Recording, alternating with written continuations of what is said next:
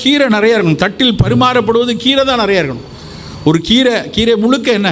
நம்ம நினச்சி பார்க்க முடியாது. கீரைகளை வந்து அறிவியல் பூர்வமாக பார்த்தோம்னு வச்சுங்களேன் நியூட்ரிஷனாக பார்த்துங்களேன் பெரிய பெரிய விலை உயர்ந்த காய்கறிகள் கொடுக்காத பல சத்துக்களை வந்து கீரைகள் கொடுக்கும். இந்த கீரையில் இருக்கக்கூடிய ஃபோலிக் ஆசிட் கீரையில் இருக்கக்கூடிய செலினியம் மேங்னீஸ் அயன் இந்த கண்டென்ட்டெல்லாம் நீங்கள் நினச்சே பார்க்க முடியாது. ஒரு இருபது நாள் கீரையில் அது கிடைக்குது.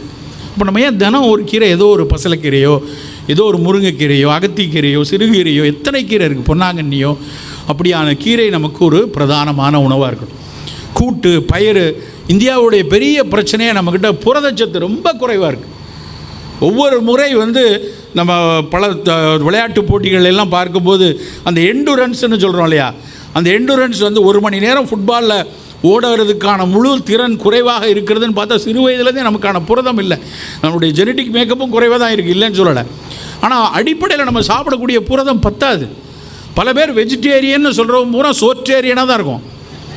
வெஜிடேரியனாக வெஜிடபிள் நிறைய இருக்கணும். சோறு கம்மியாக இருக்கணும். ஆனால் அப்படி இல்லை. ஸோ புரதம் நிறையா இருக்கணும்.